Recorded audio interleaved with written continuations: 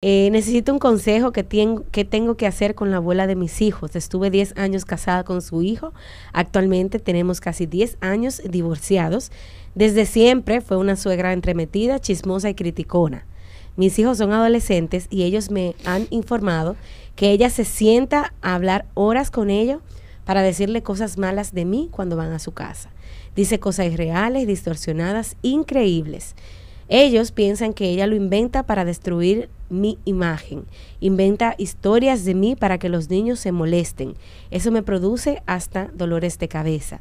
Porque su hijo, es decir, mi ex esposo, hace lo mismo. Y los dos son personas brutas que no barajan un pleito. Bueno, yo en esos casos lo que le digo, eh, eh, en, esos casos tan particulares, yo no lo mando a los muchachos para allá. Pero imagínate, Ramón. No van para allá.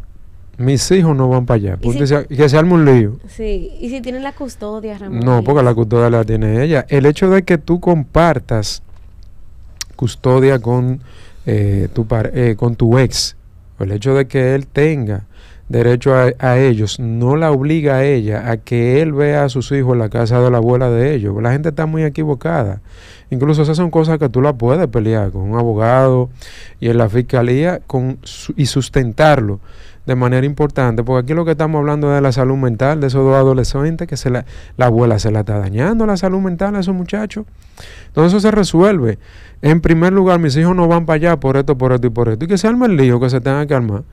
Y si tenemos que irnos al plano legal a pelear eso, pues lo peleamos, pero es uno que, mira, cuidarle la salud mental a los hijos de uno también es responsabilidad de uno, Rocío. Sí, porque me imagino que esos muchachitos lo están volviendo loco. Pero están llegando locos, pero es una, una barbaridad. Entonces, no hay problema, mis hijos pueden ir a la casa de quien sea, siempre y cuando me le cuiden su integridad física y psicológica.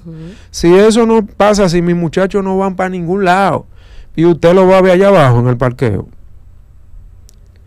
O vamos a pelear para la fiscalía, vamos delante de un juez, yo sustento eso, ya los hijos pueden hablar, porque lo pueden jalar capítulo el juez y ellos van a dar testimonio, sí, mi abuela, cada vez que vamos a la casa, tan, tan, tan, tan, tan, tan, nos da una tanda a nosotros, no habla de esto, se acabó el problema. Señora, Eso es así que hay que resolver. está escuchando este programa, señora, bájele un do de cáncer. No le van a bajar porque son gente con trastorno de personalidad, ah, Rocío. La gente que hace eso, mira, hay indicadores que te dicen a ti, acá, pero aquí hay un tema, esto no está bien, le hemos hablado, le hemos dicho, le hemos qué sé yo qué, y lo siguen haciendo. Hay gente con trastorno de personalidad. Yo he visto abuelas en consulta con trastorno de personalidad. Yo he visto familias donde pasa eso y las cosas se resuelven cogiendo distancia. Porque a usted nadie le puede decir dónde tienen que estar sus hijos. Sus hijos tienen que estar con usted. Y si van a estar en otro sitio, la gente tiene que cuidar, vuelvo y repito, la integridad física y psicológica de mis hijos. Si no, mis hijos no van para allá. Y punto y se acabó. Y hagan lo que ustedes quieran. Que ahí en la fiscalía y, en todos los juzgados también hay eh, terapeutas que hacen evaluaciones a, adolescentes, a niños, a, a familias, etcétera, y se determina cómo se va a resolver eso. Pero uno tiene que cuidar la salud mental de sus hijos.